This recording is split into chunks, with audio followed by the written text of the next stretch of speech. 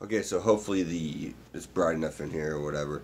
But um, so if you guys want to see what I'll be watching, I'm not sure how I'm gonna do it yet, but the link will either be in this video or just literally go to my last video, my DxD one. You'll see it. Just go, click, you know, on my little profile pic under the video. Go to my homepage, click on video tabs, and then it'll be like the second video I've posted from the first. You know, left from right.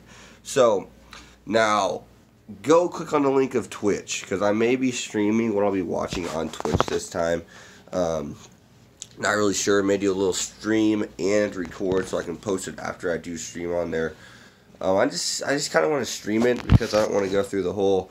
Let me link up my audio. Hey, let me link up, you know, video, everything in between. So I may end up doing that.